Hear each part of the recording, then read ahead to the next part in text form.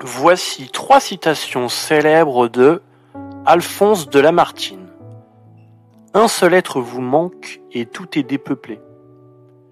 On n'a pas deux cœurs, un pour les animaux et un pour les humains. On a un cœur ou on n'en a pas. Il y a une femme à l'origine de toutes les grandes choses.